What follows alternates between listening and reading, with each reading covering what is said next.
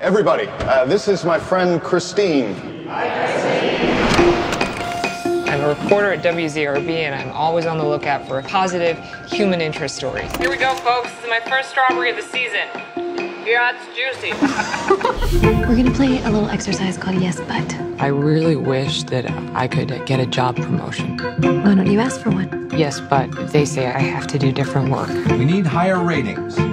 If it bleeds, it leads. This is totally at odds with the work that I've been doing. It's exploitative.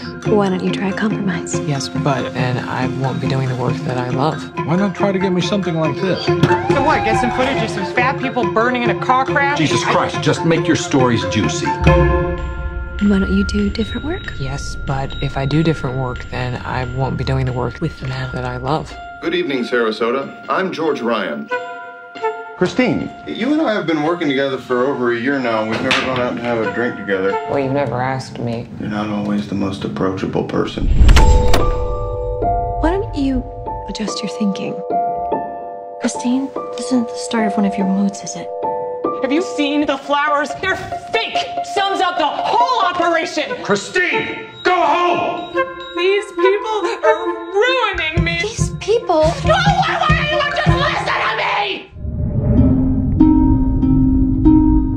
Okay? Do I not seem okay? Maybe you can get us some footage of the chickens having sex so people can see how the eggs are really made. That's a joke. What is this? What are you doing? I've just been thinking a lot about your idea of uh, sensationalizing the news. I'm agreeing with you. And now, let's kick it over to Christine Chubbuck. Thank you, George. WZRB policy, complete reports of local blood and guts, TV 30 presents what is believed to be a television first.